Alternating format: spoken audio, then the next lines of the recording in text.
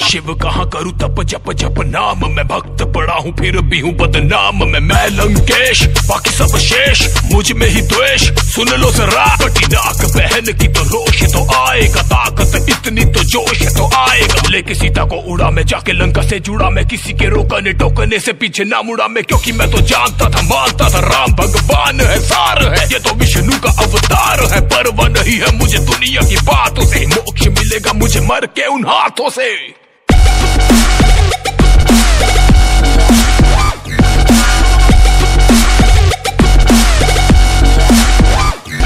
मेरा नाम है रावण।